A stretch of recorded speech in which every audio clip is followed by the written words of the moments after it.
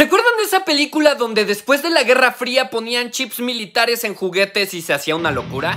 Y así un grupo de soldados de juguete tenía la misión de eliminar a los Gorgonitas. Esta película es un clásico de la infancia, ya que de cierta manera era un Toy Story muy oscuro. Y mucho tiempo después, la historia se repite. Esto no es una secuela, es un cortometraje que crearon en 3D, donde vemos un concepto modernizado de esta película.